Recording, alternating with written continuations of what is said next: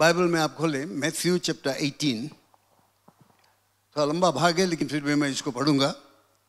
हम ध्यानपूर्वक इसको सुने, बाइबल में फॉलो करो। मैथ्यू 18 21 टू 35 मैं जानता हूँ ज़्यादा लोगों के पास अंग्रेज़ी बाइबल है, लेकिन मैं हिंदी में से पढ़ता हूँ। और सुने उसको, समझे। और देखिए परमेश्वर हमसे क्या कहता है। तब पत्रस ने पास आकर यीशु से कहा हे प्रभु हाँ, हे प्रभु यदि तेरा भाई अपराध करता है तो मैं कितनी बार उसे क्षमा कर करूँ? क्या सात बार?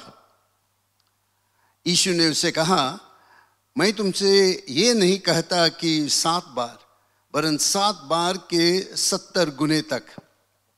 इसलिए स्वर्ग का राज उस राजा के समान है जिसने अपनी दासों से लेखा लेना चाहा। जब वो लेखा लेने गया लगा तो एक जन उसके सामने आया, लाया गया, जो दस हज़ार तोड़े धारता था। जबकि चुकाने को उसके पास कुछ न था तो उसने स्वामी से कहा कि यह और इसकी पत्नी और लड़के वालों और जो कुछ इसका है, सब बेच जा, बेचा जाए। और वह कर्ज चुका दिया जाए। इस पर उस दास ने गिरकर उसे प्रणाम किया और कहा, हे स्वामी, धीरज धर, मैं सब कुछ भर दूँगा। तब उस दास के स्वामी ने तरस खाकर उसे छोड़ दिया और उसका धार क्षमा किया।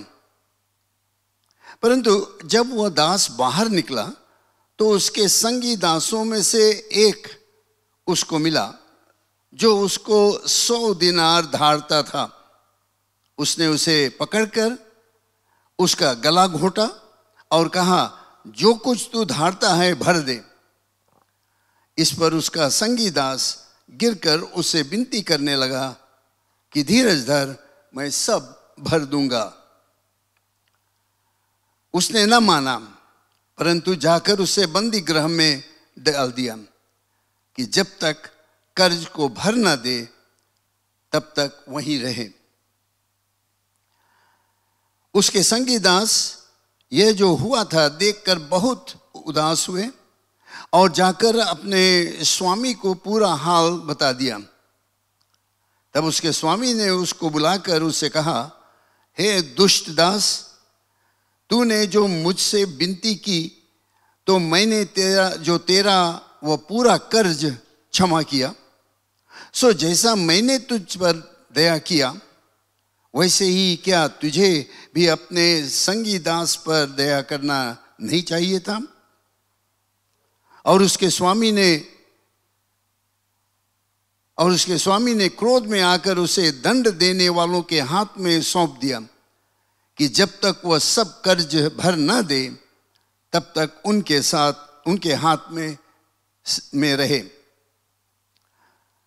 वर्स 35 कहता है, यही मुख्य भाग है इसमें। इसी प्रकार, यदि तुम में से हर एक अपने भाई के मन से क्षमा न करेगा तो मेरा पिता जो स्वर्ग में है, तुम्हें भी वैसा ही करेगा। इसी प्रकार, यदि तुम में से हर एक अपने भाई को मन से क्षमा न करेगा तो मेरा पिता जो स्वर्ग में है, तुमसे भी वैसा ही करेगा। पिता परमेश्वर, यीशु के नाम से हम धन्यवाद देते हैं। ये शुभ दिन के लिए, ये सबक के लिए जो तू हमें दिया है क्षमा के विषय में, और ये जो दृष्टांत तूने दिया है जिसके द्वारा हम और अच्छी तरह से समझ सकते हैं, क्षमा का मतलब क्या है और क्षमा हमें कैसे करना चाहिए। और पिता, आज जब हम इस पर विचार लाते हैं, बातचीत करते हैं, मेरा यही प्रार्थना है कि तू पवित्र आत्मा से हमें अभिषेक कर दे, कि जो कुछ मैं कहूँगा और जो कुछ सुनेंगे लोग, उससे आत्मिक उन्नति को प्राप्त करने के और क्षमा करने का कार्य में वे तन मन धन से लगे रहेंगे। धन्यवाद परमेश्वर ईशु के नाम से। आमीन जैसे मैं बताया कि इस, इस महीना हम लोग क्षमा के विषय में बातचीत करेंगे बहुत ही खास विषय है जिस पर हमें ध्यान देना बहुत ज़रूरी ज़रूरत है। बहुत से ऐसे लोग हैं दो जो दोषी विवेक के कारण बहुत बीमार हैं। इंग्लिश में कहते हैं many are sick suffering because of guilt बहुत ऐसे लोग हैं। एक कैंसर की तरह उनके जीवन में उनके शरीर में वो खाते चले जाता है।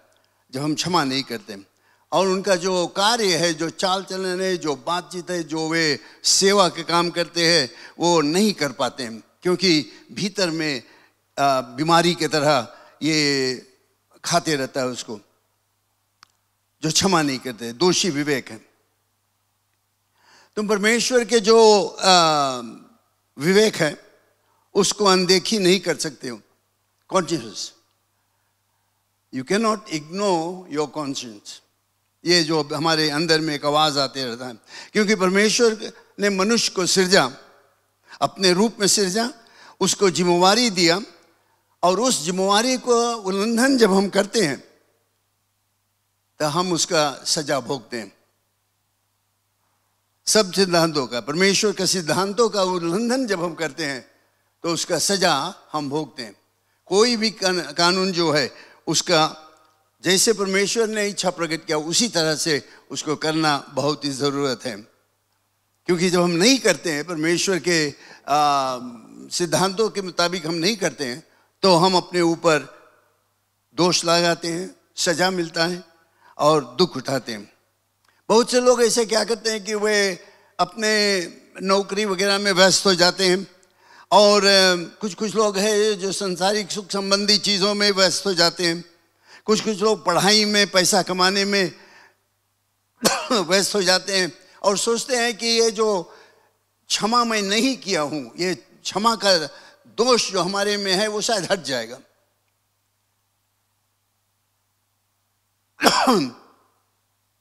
और वे कोशिश करते हैं सब कुछ करने के लिए उसको, ये दोष जो है ये जो कॉन्शियसनेस है जो हमें बताते रहता है तुम गलत हो क्षमा करना ज़रूरत है आ, उसको नहीं हटाते तो हम क्या देखते हैं? हमारे में उसके सजा होता है। और ऐसे लोगों के लिए प्रभु यीशु मसीह ने कहा कि मैं भी तुम्हें दोष नहीं लगाता हूँ मैं भी तुम्हें सजा नहीं देता हूँ लेकिन जाओ और अब से पाप नहीं करो। प्रभु यीशु मसीह ने उस स्त्री से कहा था जिसको पकड़ कर लाया गया। मैं तुम्हें सजा नहीं देता, लेकिन जाओ अब से तुम पाप नहीं करना। ये सुसमाचार है जो हर एक व्यक्ति के लिए है और सिर्फ़ यीशु मसीह काम कर सकता है। यही एक ऐलान है जो पाप के ताकत को तोड़ सकता है और कुछ नहीं, क्षमा मांगने से द्वारा। प्रभु यीशु मसीह का लहू हमें ये दोष जो है, जो गिल्टी कॉन्शियंस है, उसको हटाने के लिए उसमें ताकत है, और कोई नहीं हटा सकता है। सिर्फ़ प्रभु यीशु मसीह का लहू और उस पर विश्वास करने से हम शांति को प्राप्त करते हैं और स्वतंत्र हो जाते हैं। याद रखना है ये जो क्षमा का काम बहुत ज़रूरी है, क्योंकि जब हम क्षमा नहीं करते हैं तो जैसे मैंने बताया, वो कैंसर की तरह हमारे जीवन में हो जाता है। और वो बढ़ते रहता है, हमें बर्बाद करते रहता है। लेकिन साथ साथ ये भी जानना ज़रूरत है कि जो ये क्षमा के काम है, ये दोनों तरफ़ का है, ऊपर नीचे, यानी हमारा रिश्ता परमेश्वर के साथ में और हमारा एक दूसरे के साथ में। जब प्रभु यीशु मसीह ने इसके विषय में कई बार कहा है, जब तुम एक दूसरे को क्षमा नहीं करोगे तो नहीं सोचना कि परमेश्वर तुम्हें क्षमा करेगा। तो ये दोनों तरफ़ से है। इंग्लिश में हम कहते हैं forgiveness is horizontal, also vertical दोनों तरफ़ से। अगर हम एक दूसरे को नहीं क्षमा करेंगे तो परमेश्वर हमें नहीं क्षमा करेगा। उस, उसने इसको ऐलान किया। और इस पर हमें ध्यान देना बहुत ज़रूरत है। आज के जो ये विषय हमने पढ़ा है, हमें बहुत ही सरल रूप से, बहुत ही साफ़ साफ़ बताता है क्षमा के विषय में। यहाँ पर हम लोग क्या सीखते हैं? ये सुसमाचार का एक भाग है। कि परमेश्वर का क्षमा जो है, वो सबके लिए है। चाहे जैसे भी कितना गहरे पाप में भी गिर जाए, कितना परमेश्वर से दूर हो जाए, कितने गंदे काम करने लगे, परमेश्वर का क्षमा जो है, उसके लिए है। वो क्षमा करेगा। क्योंकि ये आता है कैलवरी से, ये परमेश्वर का हृदय एक दूसरे के क्षमा करने के लिए उसके हृदय से आता है। इसको हम लोग कैलवरी पर देखते हैं, जब यीशु मसीह क्रूस पर मरा तो वहाँ पर हम लोग देखते हैं कि क्या दाम दिया गया तुम्हारे और हमारे क्षमा के लिए, पाप से छुटकारा पाने के लिए। इस भाग में हम लोग क्या देखते हैं? परमेश्वर कितना सोचता है ऐसे लोगों के लिए, जो लोग भटक गए खासकर मसीह विश्वासियों के लिए भी वो बात करता है यहाँ पर। कितना उसका सोच है, कितना उसका विचार है, उन लोगों के लिए जो भटक जाते हैं। इसको हम लोग देखते हैं जब प्रभु यीशु मसीह ने इस दृष्टांत को बताया, उसने चेतावनी दिया कि परमेश्वर न्याय करेगा, अगर कोई एक व्यक्ति, ये जो छोटा लड़का उसको लेकर जब उसने बातचीत किया, इन छोटे बच्चों में से अगर कोई उसको दोष लगाया या नाश किया या कोई एक ऐसा काम किया कि ये छोटा बच्चा गलत मार्ग में चले जाए, उसका सजा रहेगा, वो नरक को जाएगा। परमेश्वर प्रभु यीशु मसीह यहाँ पर दिखाता है कितना इसके विषय में वो चिंता करता है। वो हमें दिखाता है कि एक व्यक्ति अगर खो जाए, उसके लिए वो चिंता करता है और देखता है, यहाँ पर दृष्टांत बताता है कि एक सौ में से एक खो गया और जो चरवाहा था उसने गया एक को खोज कराने के लिए। निन्यानवे तो उसके घर पर रहा हो सकता था कार्य के लिए अब बाकी तो है, एक चला गया, कोई बात नहीं। लेकिन वो गया, उसको खोज कर लेके आया इस सब चीज़ के द्वारा परमेश्वर हमें ये दिखाता है, कितना वो चिंतित है उनके लिए जो भटक जाते हैं। बहुत से मसीह विश्वासी हैं जो भटक जाते हैं, किसी न किसी कारण से भटक जाते हैं। और हो सकता है कोई उनके विरोध में कुछ काम कर दिया, कोई उनको उल्टा सीधा कह दिया और क्षमा करने के लिए तैयार नहीं है, और न क्षमा करते हैं, वे भटक जाते हैं इधर से उधर, चले जाते हैं। लेकिन ये सब चीज़ दिखाने से, ये दृष्टांत बनाने से, प्रभु यीशु मसीह हम लोगों को ये बताता है, वो नहीं चाहता है कि एक भी व्यक्ति नाश होए। उसका इच्छा है नहीं कि एक भी व्यक्ति नरक को जाए। मैंने कई बार बताया, परमेश्वर का इच्छा है कि हर एक प्राण बच जाए। परमेश्वर की इच्छा नहीं है कि कोई नरक को जाए, कोई भी नहीं नरक जाए। और खासकर परमेश्वर यहाँ पर इस दृष्टांत के द्वारा हमें दिखाता है मसीह विश्वासियों के विषय में। बहुत से मसीह विश्वासी हैं जो भटक जाते हैं। किसी और के कारण से कोई और आकर कुछ बोल दिया तो वे भटक जाते हैं। किसी एक पाप के कारण, बुरे विचार के कारण, बुरे मार्ग में चले जाते हैं और भटक जाते हैं। और इसके द्वारा वे बहुत खतरनाक स्थान में हो जाते हैं। यीशु मसीह यहाँ पर ये हमें दिखाता है कि वो इनके विषय में चिंतित है, जो भटक जाते हैं उनके विषय में। वो चाहता है कि वो भी आ जाए और बच जाए, नरक को नहीं जाए। मसीह विश्वासी जो भटक जाते हैं, जो ठोकर खा जाते हैं, जो गिरने लगते हैं, जो पाप में चले जाते हैं, प्रभु यीशु मसीह चाहता है उनको फिर से लाए। ये दृष्टांत के द्वारा हमें यही शिक्षा मिलता है। कि वो फिर से आ जाए संगत में, फिर से मंडली में आ जाए, फिर से विश्वासी हो जाए और स्वर्ग की ओर जाने की तैयारी करे। वो हमें यहाँ पर ये दिखाता है कि वो चाहता है क्षमा करने के लिए। एक दूसरे के क्षमा करने के लिए, परमेश्वर चाहता है हमें क्षमा करने के लिए।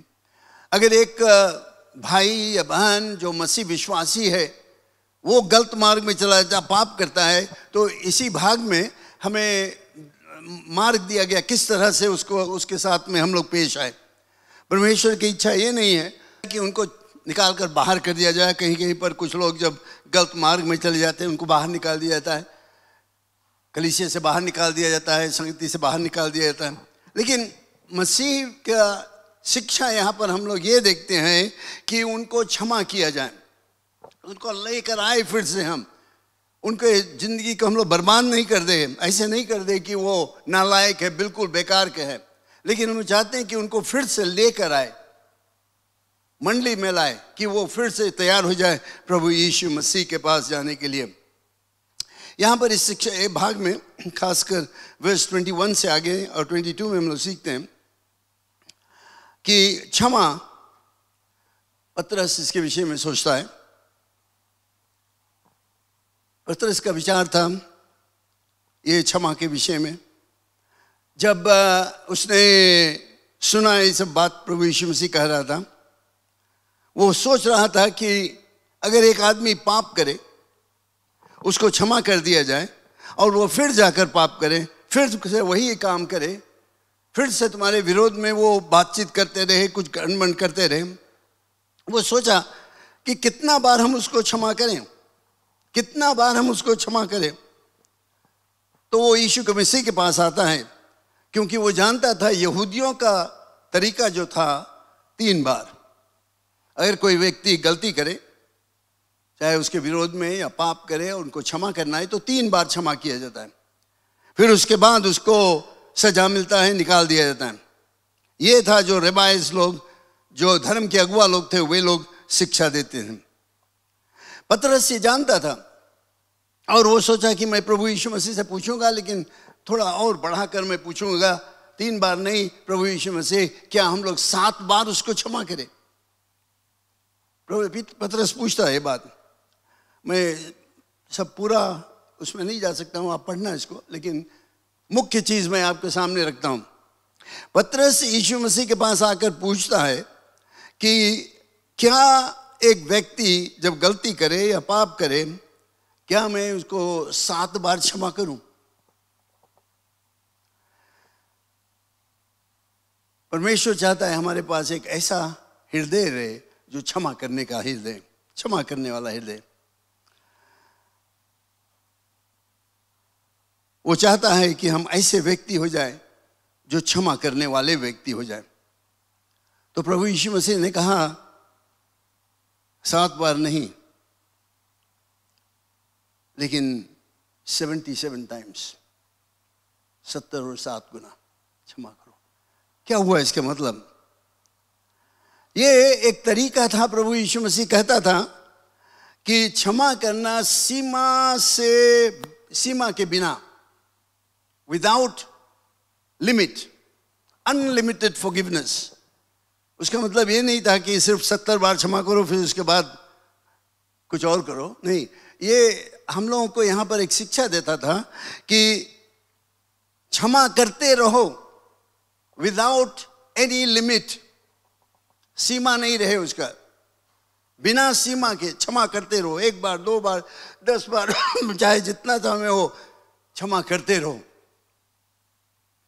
इन दृष्टांतों से प्रभु यीशु मसीह बताता क्षमा। हम लोग हमेशा सुनते हैं, करते हैं। लेकिन बाइबल में हम लोग इसका क्या हम मतलब है? मैं जल्दी से उसमें कुछ प्रकाश डालना चाहता हूँ। बाइबल में क्षमा के विषय में सीखते सीखते हैं कि पूर्ण रूप से रद्द कर देना। पूर्ण रूप से रद्द करने देना। Complete cancellation that is forgiveness पाप से क्षमा को प्राप्त करना। स्वतंत्र रूप से क्षमा करना। उस व्यक्ति से तुम ऐसा पेश आओ, जिसने तुम्हें चोट लगाया या तुम्हारे विषय में बुरा भला कहा, ऐसे उसके साथ में पेश आओ।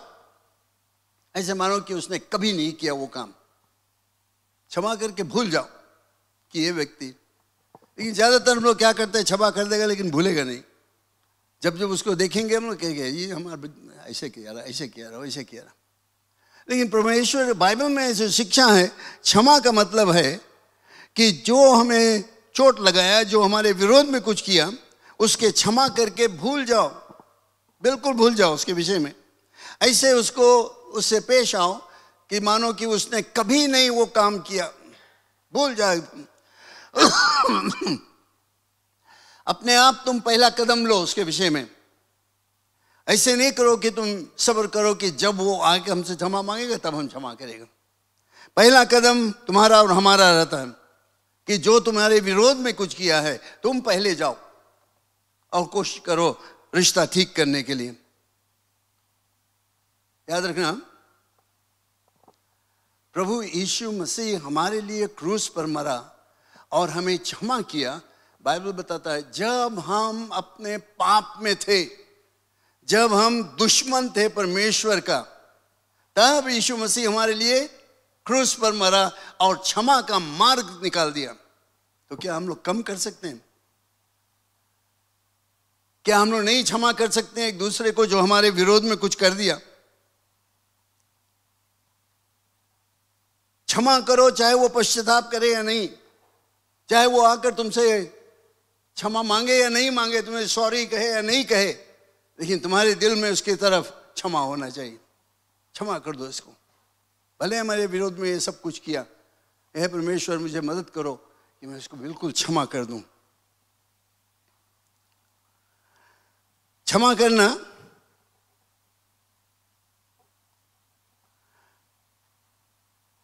नाराज़गी को अपने दिल से, दिल में आने से मना करना, जो कड़वापन है, जो बुरा विचार है उसके विरोध में, नाराज़गी हम लोग कहते हैं, उसको अपने दिल में आने नहीं दो। उसने हमारे विरोध में ऐसे किया, वो ऐसे किया, उसको निकाल कर बाहर कर दो, क्षमा का मतलब होता है। ये सहज काम नहीं है। लेकिन परमेश्वर के आत्मा के द्वारा हम लोग कर सकते हैं। और हर एक मसीह विश्वासी को ऐसा करना चाहिए। जो चोट लगा है, जो दोष लगाया है, उसको बिल्कुल हटाकर भूल जाओ। खोद खोद के उसके देखते नहीं रहो, सोचते नहीं रहो उसके विषय में, क्योंकि वो तुम्हें ही बर्बाद करेगा। जो व्यक्ति तुम्हारे विरोध में कुछ काम किया, उसके कुछ नहीं होगा। एक कहानी बताया जाता है एक लड़का के विषय में। जिसके हाथ में चोट लग गया था, घाव हो गया। और डॉक्टरों ने उसके पट्टी बाँध दिया और बताया कि इसको खोलना नहीं, जब तक दूसरा टाइम नहीं आया तो मैं आकर हॉस्पिटल में भी दिखाने के लिए। लेकिन ये लड़का क्या किया? रोज रोज जाकर पट्टी निकालता और लोगों को दिखा दिखा मैं चोट लगा रहा, फिर बाँध देता। रोज खोलता, बांधता खोलता, बांधता, अपने पट्टी को देखता रहा, घाव को देखता रहा। और अंत में क्या हुआ, जानते हो? उसका हालात इतना खराब हो गया कि उसके हाथ को काटना पड़ा। क्योंकि वो जो बताया गया था वो किया नहीं खोद खोद कर देखते था हमेशा। डॉक्टरों के कुछ नहीं हुआ लेकिन इसके हुआ। इसी तरह से हमारा विचार जो परमेश्वर के विषय में है न, जो जो हम लोग क्षमा करते हैं जो चोट में लगा लगा है वो सब भूल जाए हम लोग। नहीं इसके विषय में बातचीत करते रहे। कि हाँ परमेश्वर ये व्यक्ति मेरे विरोध में ऐसे, क्या मैं उसको क्षमा कर देता हूँ? चाहे वो मेरे पास आकर मुझसे क्षमा मांगे या ना मांगे, लेकिन मैं उसको क्षमा करता हूँ और भूल जाता हूँ। तभी हम लोग एक आनंद में खुशहाली जीवन निर्वाह कर सकेंगे। तभी हमारा रिश्ता परमेश्वर के साथ में ठीक रहेगा। प्रभु यीशु मसीह ने यह दृष्टांत बताया। यहाँ पर हमने, मैंने पढ़ा उसके विषय में।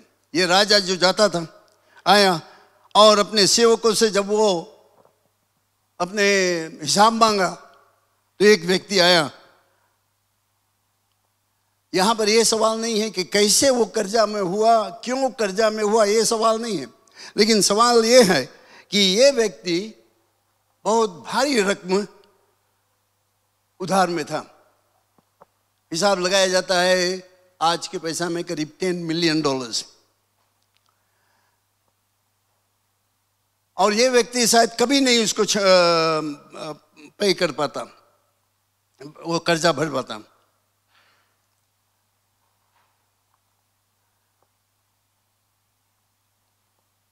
प्रभु यीशु मसीह हमें इसके द्वारा ये सिखाता है कि जो कर्जा हमारा है प्रभु यीशु मसीह के, परमेश्वर के तरफ़, जो पाप का कर्जा है, वो इतना भारी है, हम कैसे उसको चुकाएँगे? हम बिल्कुल बेकार के हैं अपने अच्छे कामों से, दान पुण्य से, कुछ भी करने के द्वारा हम इस कर्जा को नहीं चुका पाएँगे, जो पाप का कर्जा है। सबके ऊपर है पाप का कर्जा। ये पाप जो है, जो पाप करते रहता है हैबिचुअल सेना, जो हमेशा पाप करते रहता है, या जो बैक्सलिडन है, जो यीशु को जानता है, लेकिन उसके घूम कर चले जाते हैं। वे लोग बिल्कुल बैंक हो जाते हैं। पाप रूप में, आत्मिक रूप से वे बैंक है। उनके पास कुछ है ही नहीं। कुछ नहीं दे सकते हैं परमेश्वर को। ईशु को जानते हुए जब तुम उसको त्याग देते हो, क्या दोगे तुम उसके बाद? जो पाप में है, बुरे लोग हैं, जो पाप में हैं, जो यीशु को नहीं जानते, क्या देंगे वे परमेश्वर? कुछ नहीं हमारे पास है। बिल्कुल बैंक लेकिन जानते हो, खुशी की बात यह है कि यही लोग जो पाप में गिरे हुए हैं, चाहे वो मसीह विश्वासी थे या जो कभी नहीं विश्वास किया, ये लोग अपने आप को दीन बनाकर परमेश्वर के पास आते हैं। परमेश्वर का अनुग्रह मुफ़्त में मिलता है और सीमा से बिना सीमा का क्षमा वे प्राप्त करते हैं। Unlimited forgiveness when they come और ये कैसे होता है? यीशु मसीह के लहू के द्वारा। यीशु मसीह का बलि के द्वारा वो क्षमा हमें मिलता है। प्रिय लोग, ये बहुत ज़रूरी चीज़ जानने के लिए। चाहे कैसे भी पाप में हम हो, कितना दूर हो जाए। जब हम अपने आप को दीन बनाकर आते हैं, पश्चाताप करते हैं, परमेश्वर मुझे क्षमा कर दो, वो क्षमा करेगा। एक बार, सौ बार भी। चाहे हज़ारों बार वो क्षमा करने के लिए तैयार है। ना इसका मतलब ये नहीं कि तुम जाकर पाप करते रहो, रोज रोज पाप जान बूझ कर जाकर वो काम करते रहो, जो तुम जानते हो ठीक नहीं है। पाप के काम है, वो गलत हो जाएगा। तुम बहुत खतरा में रहोगे अब। यीशु मसीह क्षमा करेगा जब तुम क्षमा मांगोगे, लेकिन बहुत खतरनाक समय। जब प्रभु यीशु मसीह हमारे लिए इतना किया कि जब हम दीन होकर उसके पास आएँगे, क्षमा को मांगेंगे, वो हमें क्षमा करेगा और हम उसका क्षमा सीमा से, सीमा नहीं है उसका क्षमा का। यीशु मसीह के लहू के द्वारा उसका प्यार उसने दिखाया, क्षमा किया। तो हम लोग क्या इतना नहीं कर सकते हैं? कम से कम एक दूसरे को क्षमा करें, और ऐसा क्षमा जिसका सीमा नहीं है। Unlimited forgiveness to others are you going to carry that as a burden all through your life? मैं आशा करता हूँ कि हम लोग इस पर विचार करेंगे और क्षमा करने का काम करें, क्योंकि बहुत से लोग हैं, जैसे मैंने बताया शुरुआत में, जीवन में दरिद्र छा गया उनको, क्योंकि वह किसी को क्षमा नहीं किया। क्षमा का जो पाप है उनके हृदय में किरुआ की तरह खाते रहता है, खाते रहता है, कैंसर हो जाता है। परमेश्वर चाहता है कि हम औरों को बिना सीमा का क्षमा करें, बिना सीमा, कोई लिमिट नहीं करे उसमें।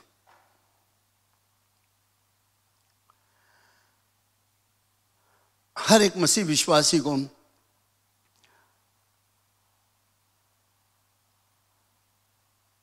याद होना चाहिए कि वे क्षमा करें और उनको करना चाहिए।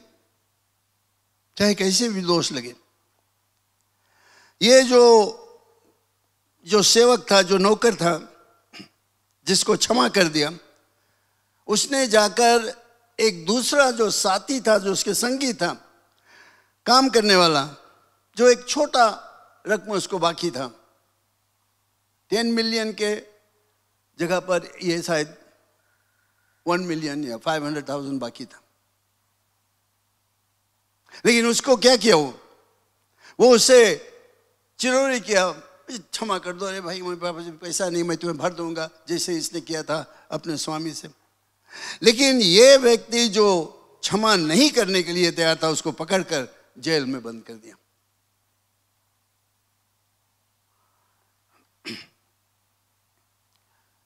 क्षमा करना तुम्हारे हृदय से होना चाहिए। और प्रिय लोग, बहुत भारी सबक है, इस पर हम लोग बहुत कुछ कर सकते हैं, लेकिन मैं संक्षिप्त में यही बताता हूँ कि क्षमा हमारे हृदय से आना चाहिए, और जब हम क्षमा कर देते हैं तो हम भूल जाए, और उससे ऐसा पेश रखे जिसे ने कभी नहीं किया। यही चीज़ तो प्रभु यीशु मसीह हमारे लिए करता है। उसने कहा कि तुम्हारे पापों को मैं क्षमा कर देता हूँ, गहरे से गहरे समुद्र में फेंक देता हूँ, ईस्ट से वेस्ट जितना दूर है उतना दूर कर देता हूँ तुम्हारे पाप को। कभी नहीं वो याद करेगा तुम्हारे पुराने पापों को जिसके लिए तुमने क्षमा मांगा।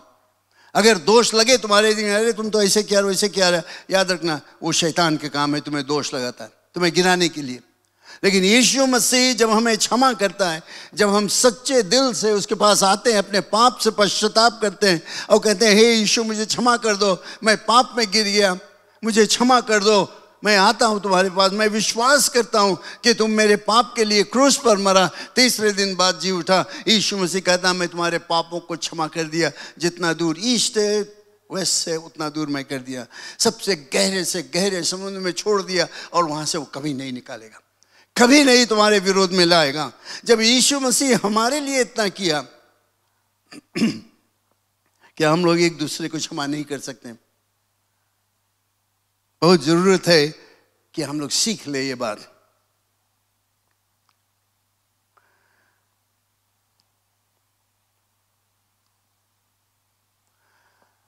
साथ साथ इस इस दृष्टांत में हम लोग सीखते हैं।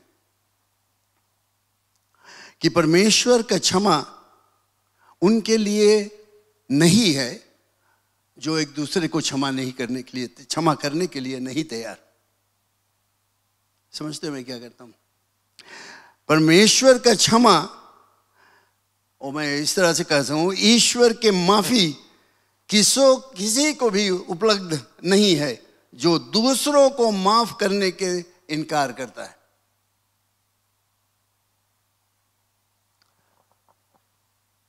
प्रभु यीशु मसीह जो प्रार्थना सिखाया उसमें वो बताता है, जो मेरे विरोध में पाप किया है, उनको क्षमा कर दो। और ये भी तुम्हारे और हमारे लिए बहुत ही ज़रूरत है, प्रिय लोग। ये हम मसीहों के लिए शिक्षा है। हो सकता है कि कोई भी यहाँ पर किसी के विरोध में कुछ नहीं तुम्हारे पास, तुमने सबको, सब कुछ ठीक है, बट हो सकता है शायद कोई किसी को क्षमा नहीं किया। हो सकता है कभी ऐसा आ जाए कि तुम्हें क्षमा करने की याद रखना, क्षमा करना बहुत ही ज़रूरत है। याद रखो, यीशु मसीह ने क्या किया? जब हम पाप में थे, जब हम उसके दुश्मन थे, जब हम उससे दूर थे, तब यीशु मसीह क्रूस पर मरा और हमारे पापों के लिए उसने एक मार्ग, क्षमा का मार्ग खोल दिया। परमेश्वर का क्षमा जो है, वो एकदम सच्चा है, असली है। वो काम करते रहता हमारे जीवन में। वो हमें ताकत देता है जीवन निर्वाह करने के लिए। वो कैंसर की तरह हमें नहीं खाने लगता है। हम स्वतंत्र हो जाते हैं क्योंकि हमने क्षमा मांगा और हमने क्षमा किया एक दूसरे को। और परमेश्वर ने जब हमें क्षमा किया, वो फिर से लौट कर नहीं, उसके विषय में हमसे बातचीत कर। अगर तुम एक दूसरे को क्षमा नहीं करते हो, एक मसीह विश्वासी होते हुए तो तुम्हारा जो मसीही जीवन है, वो खालीपन है, व्यर्थ है। Empty you just pretending you just saying I am a Christian and you think God is forgiven you क्षमा कर दिया, लेकिन तुम एक दूसरे को क्षमा नहीं कर सकते जब तुम अपने संगी साथी के क्षमा नहीं कर सकते हो तो परमेश्वर से क्षमा नहीं मांगो, क्योंकि वो नहीं करेगा क्षमा।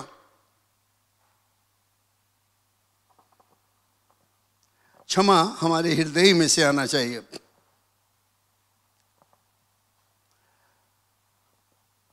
परमेश्वर का क्षमा जब हमारे हृदय में आता है, हम उसको स्वीकार कर लेते हैं, पहचान लेते हैं, तब ये क्षमा हमारे ही अंदर से एक नदी के समान बहने लगे, जिसमें कि ये औरों को असर करे, औरों के ऊपर असर करे। और लोग भी इससे आशीष को प्राप्त कर सके। ये दूसरा सेवक जो था, वो क्षमा करने के लिए नहीं तैयार था। भले वो उसका संगी साथी जो था वो भीख मांगा उसे, क्षमा कर दो मुझे, मेरे पास कुछ नहीं है, मैं दे दूँगा। लेकिन वो क्षमा करने के लिए नहीं था। ये एक बहुत ही सुंदर चित्र है। मसीह विश्वासियों का जो क्षमा करने के लिए नहीं तैयार है, अपने भाई के, अपने बहन के क्षमा नहीं करना चाहते। जो हम लोग बाकी है एक दूसरे को कर्जा चाहे कैसे भी कर्जा हो, चाहे दूसरे के दुष्कर हाँ वो परमेश्वर जो हमारे लिए किया, उससे बढ़कर नहीं हो सकता।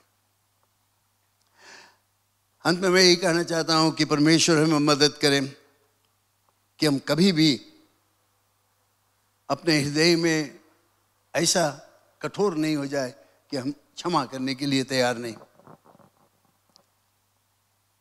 चाहे कितना भी कोई हमारे विरोध में गलत काम किया कितना भी हमसे बुरा व्यवहार किया, कितना भी हमसे बेमानी किया, कुछ भी किया,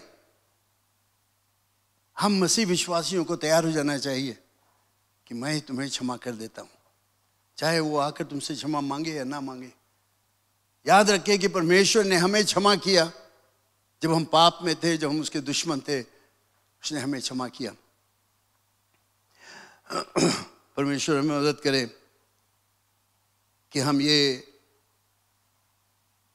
जो क्षमा नहीं करने का आत्मा है, अपने हृदय में नहीं लाए, लेकिन हमेशा क्षमा करने के लिए तैयार हैं।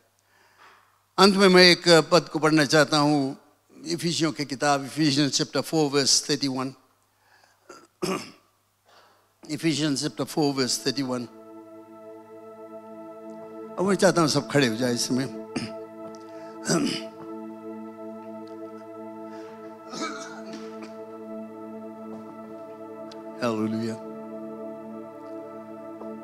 परमेश्वर के वचन से हम लोग शिक्षा को प्राप्त करते हैं। याद रखना, मैं हमेशा बताता हूँ कि वचन में हमेशा देखो क्या हमें बताता है, क्या शिक्षा मिलता है। उसके बाहर नहीं। बाइबल में से देखो।